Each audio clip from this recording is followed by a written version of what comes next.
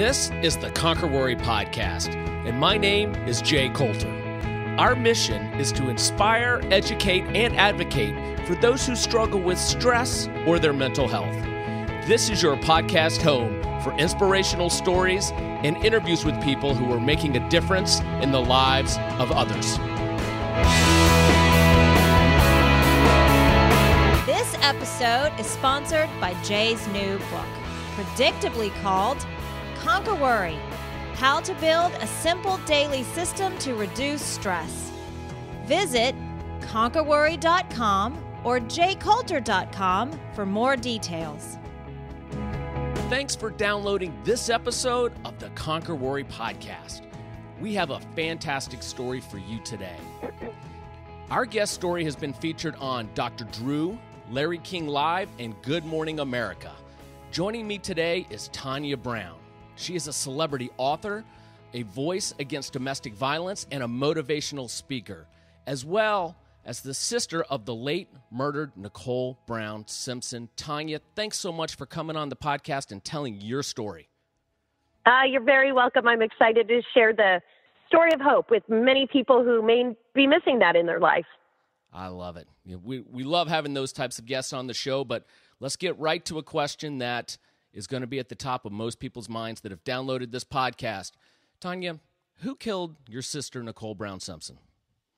In my opinion, uh, my ex brother in law, O.J. Simpson.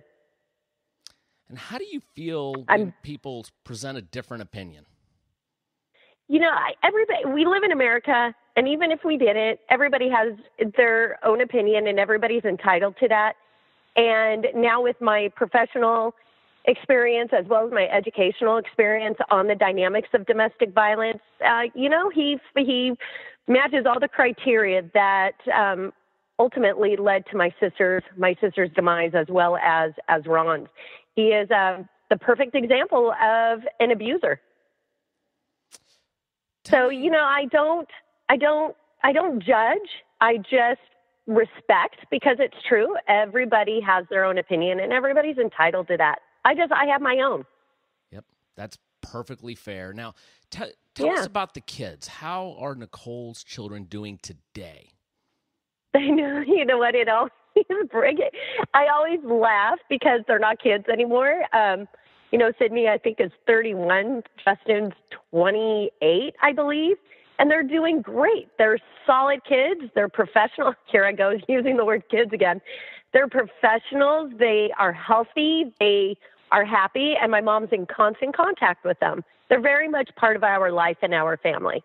Excellent. It's great to hear that they turned yeah. out right because those are obviously some huge life obstacles that they had to overcome.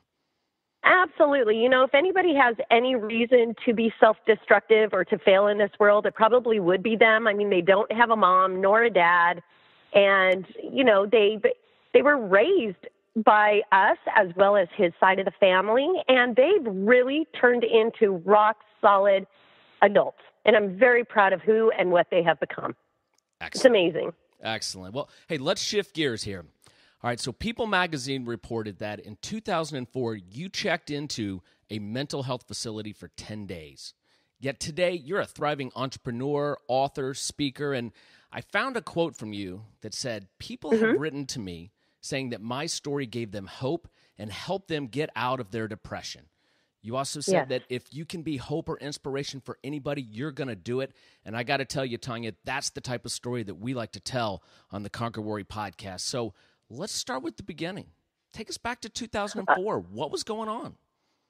Wow, you know it's a it's a very busy story. It was a very chaotic story. I um you know when we don't face our grief, our stressors, our depression, our anxiety, whatever it is that you're going through, because pain, anxiety, everything is very immeasurable. What may be, what may bring me anxiety may not bring you anxiety. So it's very immeasurable. but what I ended up doing, I had to bury six friends of mine in high school and two right out of high school. And then I lost my best friend in 2000 and then the murder of my sister. And the trigger was the cancellation of my wedding four days before. And that trigger was a godsend for me because I went into full on self destructive mode. I was popping Klonopin. I was drinking red wine because I loved my red wine. And I just, I was horribly angry. Depression, anxiety, suicidal thoughts, pretty much all throughout my young adult life were very familiar to me. But the hate that I had towards everyone and towards the world, that was scary. You know, I was born and raised, I basically have like a happy gene. I always default to happy. I may go through my really dark, you know, depressive depressive moments and experience some massive anxiety, but for the most part, I have that happy gene and but somehow I couldn't tap into that during during this episode, during this chapter of my life. And when my wedding was canceled, when my wedding was canceled, he didn't even cancel it. I heard it from the facility. So four days before, every we had everything other than my mom's eyelashes and her shoes. We had everything. And but it is exactly what I needed to explode. And every piece of stress, anxiety, jealousy, envy, hate, anger, things that were very, very scary to me and just in a moment of a hot second exploded.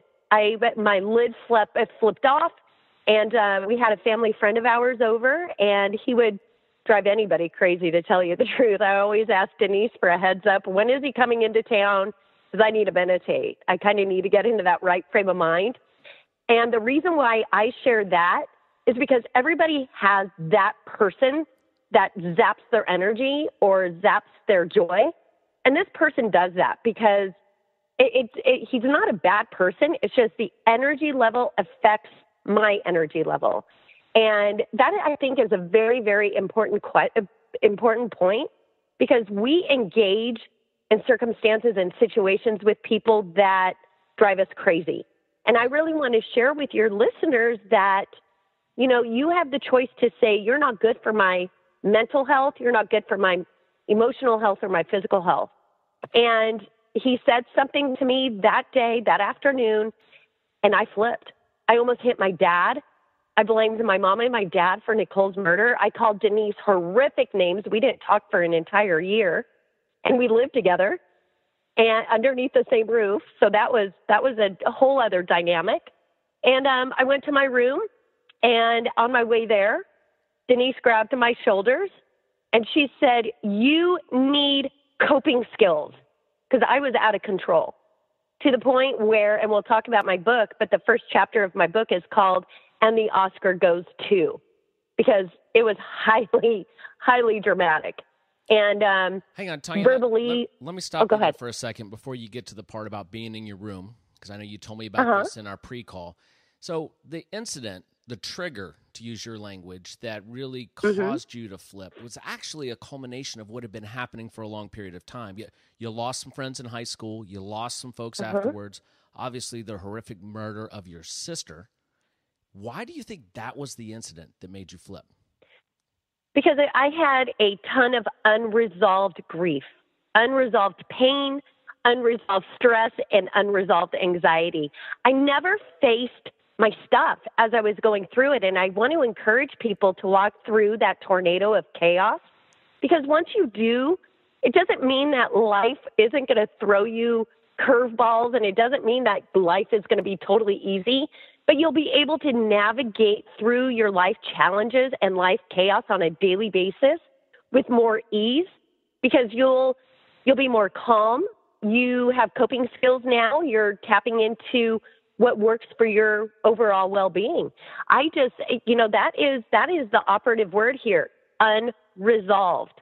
Well let's don't let's live life that. with unresolved pain. Yeah. So specifically uh, in high school or after high school, before your sister's murder, did you get any type of counseling or therapy for some of those issues? None. You know why? Because I thought I didn't have any problems. You know, I I had I have World War II parents, and I don't know if your listeners have World War II parents, but they have a whole different set of coping skills. And so I was raised with these are the cards you're dealt with. We just need to travel through that. You know, we need to play those cards out. And it doesn't mean that my parents, they never told me not to feel.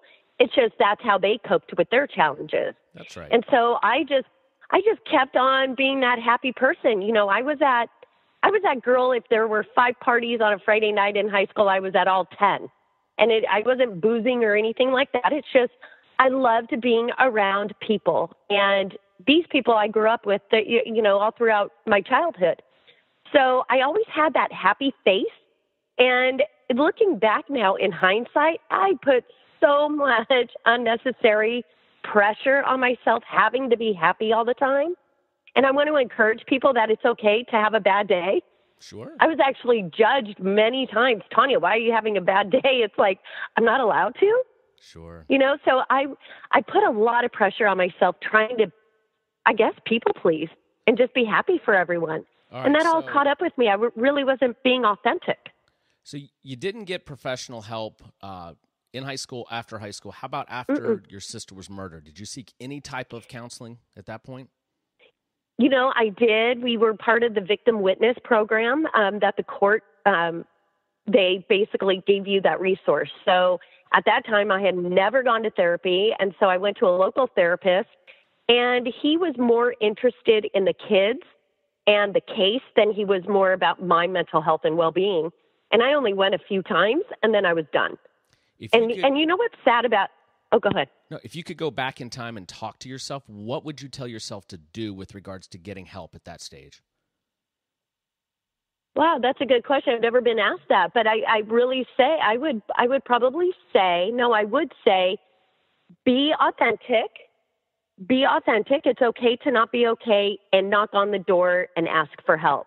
You know, we're talking almost 23 years later. I didn't know what therapy really was. I thought it was for really sick people.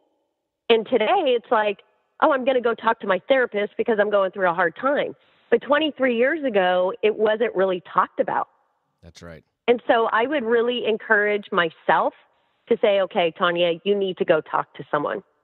I love it. And, you know, we, because of the reach we have with the Conquer Worry platform, people reach out to me pretty regularly. And, you know, I'm not qualified to give any type of advice, but I'd say the 1st thing mm-hmm. you have to do before you do anything else, before you listen to podcasts or read books, go get professional help. That is the quickest path to Absolutely.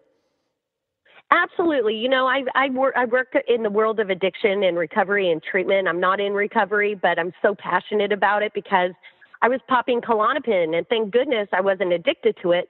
But I understand why people use and why people drink themselves to oblivion because they don't want to feel.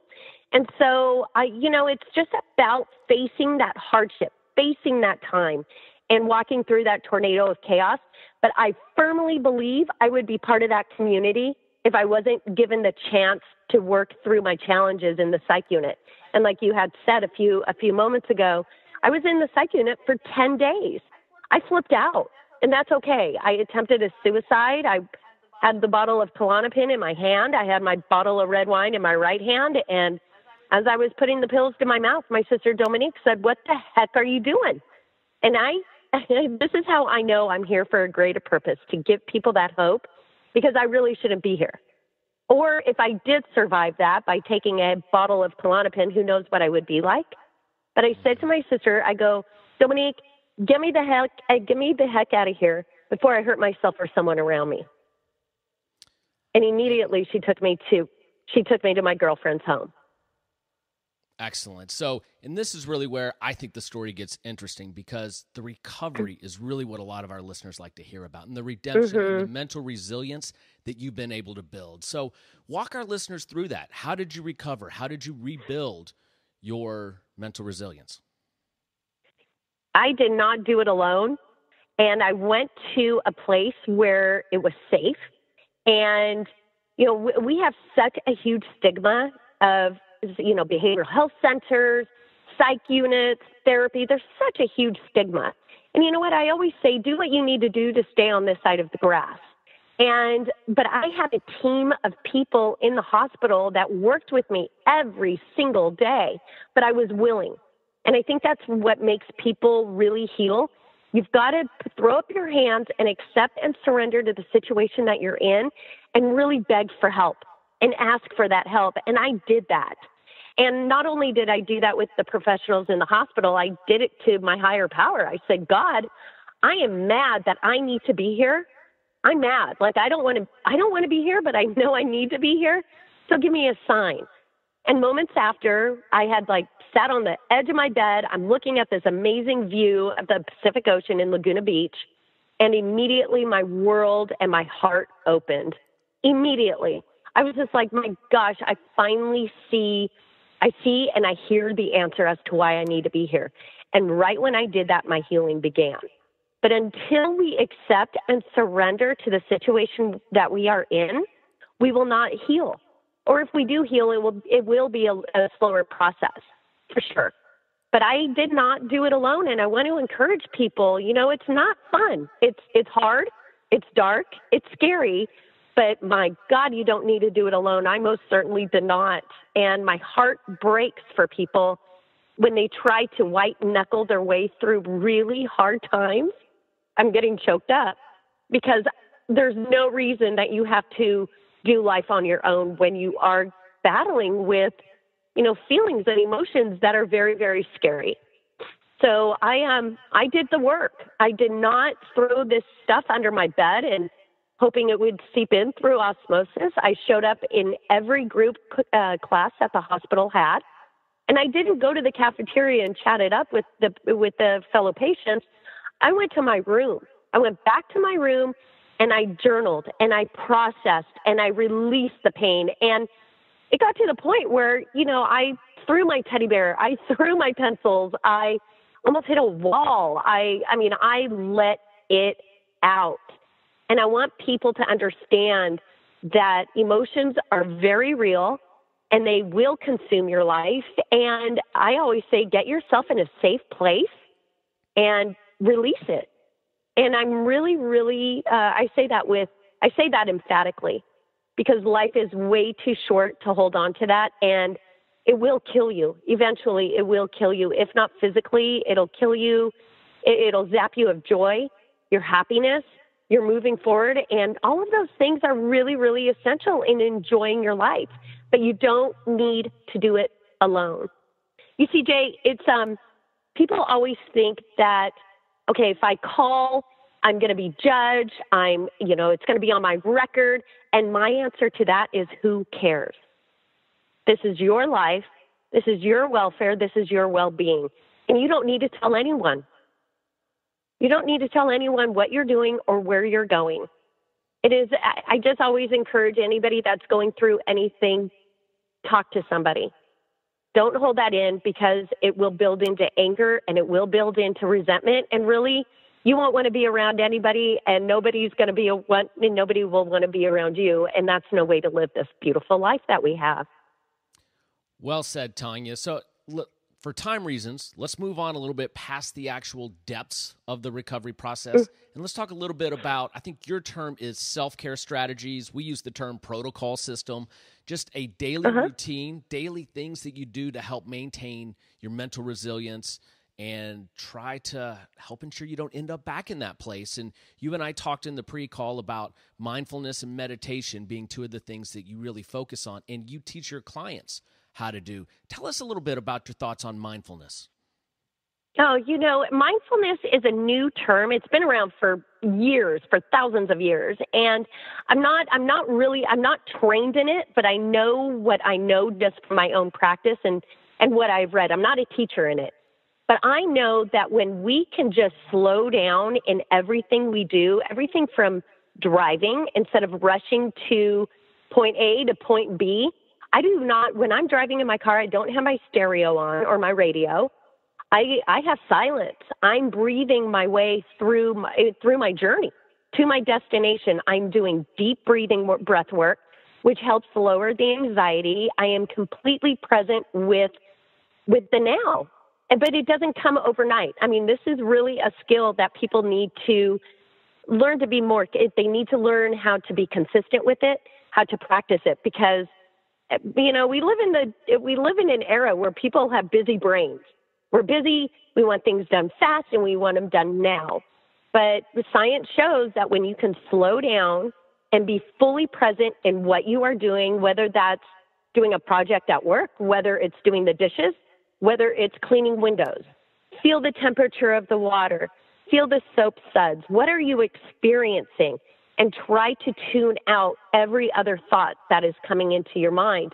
And the way you, the way that I do that is that I picture because meditation is so hard for people, and being fully present in mindfulness is so challenging for people.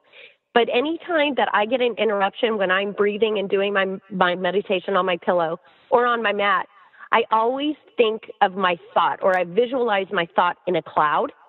And as it's traveling across my face, I'll get it to like the middle of my forehead, which in meditation it's called the third eye. So once it gets there, I always go, you know what? Thought, I see you and I hear you, but right now is my time. And then I and then I visualize the cloud um, passing by me. But this is the thing: what we resist will persist. So if you're trying to meditate and you're saying no to your thoughts, I'm not going to deal with you right now. Guess what? The more those thoughts are going to be knocking at your door. But mindfulness teaches you how to acknowledge those thoughts but then coming back to your breath work and paying attention to your present moment. But do not do not resist those thoughts. Just pay attention to it and talk to it and say, I'll get to you later. And that's what works for me. But to keep my anxiety down and for me to manage my everyday life, I breathe. I breathe my way through my life. Because without breath work, science also shows that breathing, doing really good, deep breathing, reduces anxiety significantly.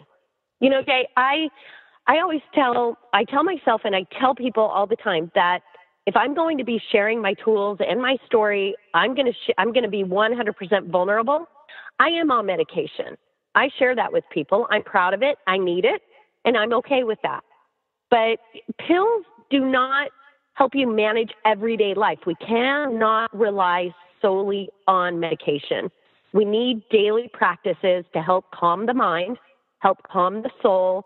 And with that, overall, you'll have more productivity at work. You'll be more proficient and efficient. And you'll actually build healthier relationships, not only with yourself, but with everybody that you, that you care about. So I really encourage people. I mean, I could go on and talk about mindfulness and meditation, but I really want people, uh, you know, I want to encourage your listeners look into that. And, you know, get on YouTube. YouTube is our library. There's phenomenal resources on YouTube. And I'm constantly learning new skills and new um, modalities. And I just encourage people to do that. Well, Tanya, you're talking my language. In the book I wrote, Conquer Worry, uh, it's it walks you through the process of building a customized protocol system where you take the ideas that work for you we don't dictate what mm-hmm. tools you want to use. Right. And those include a breathing system. There's mindfulness in mm-hmm. there. There's meditation. And I, right. you nailed it when you said it's just a matter of coming up with what you are going to find effective and then doing it every single day. So tell me, every day. Yourself, how do you keep yourself on track to do it every day? It's just it becomes your habit. It becomes part of your life. You know, in the beginning, I, right after my discharge, because I didn't know any of this stuff before I was hospitalized. So I had to be in a dark place for me to really learn about it and be self aware with it. So when I was discharged from the hospital, I was on a great track for at least two years, three years. I was like, okay, this is part of my practice. But then, you know, life happens and you fall off track. But at least you're you have that you have that tool in your toolbox. So I know now whenever I do fall off that meditation track or just the track of life, I have the tools now. I'm equipped. So then I just get back on it. And I'm very disciplined with it. So you've got your, I, you know, we have the technology of a cell phone and we have our calendars on our cell phone, but I actually have a paper weekly Outlook um, calendar because there's something about psychology putting a pen to paper. It just, you retain more you're more disciplined instead of just plugging it into your phone. So it's part of my daily it, it's part of my daily calendar and it's just when you do it consistently, you can do it all throughout the day. You do it when you first wake up. You just you become more self-aware where okay, you know what? My anxiety, my worries kind of creeping in right now. You just kind of sit back and you tap into that arsenal. You tap into that tool and you sit back and you breathe. So it just becomes your it becomes a default when you do it on a consistent basis. And it doesn't take an hour. It takes five to 10 minutes, whatever will work for you. And I always encourage like the people, your listeners, if they work, if they're full time employees or maybe they're employers, go to the bathroom and take a break. Nobody's going to bother you in there, you know, and do some deep breathing. I used to I used to go to my car during my lunch hour and I used to pop in a meditation CD. I'd eat my lunch and just go in my car in a safe place. I mean, this was years ago, so I mean, we live in a different world today.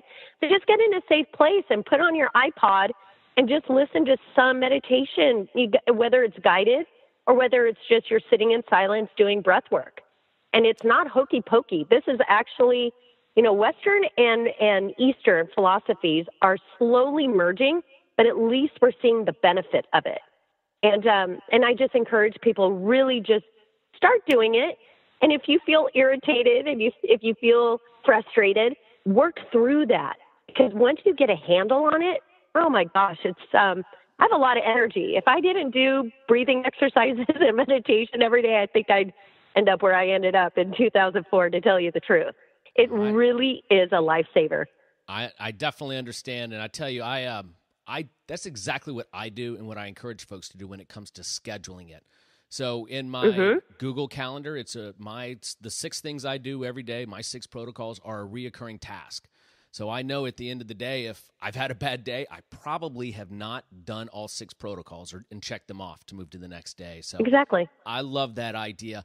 Hey, we're running a little short on time here. I want to talk mm-hmm. about your book. Your book's called Finding Peace Amid the Chaos My Escape from Depression and Suicide. Tell our listeners a little bit about the book and where they could pick up a copy.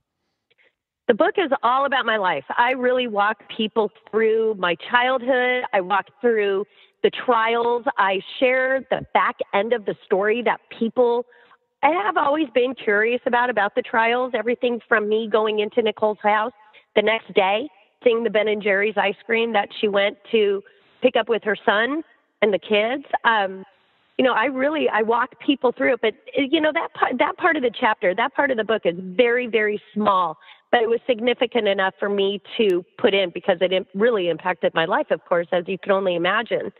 And then I walk people through the losses and the chaos, and you know how I how I traveled through that, and uh, more so how it affected me. And the way I start out each chapter, and all the chapters are very small, they're only like three pages. But I start each chapter out with a journal entry from when I was in the hospital or, or shortly after my discharge.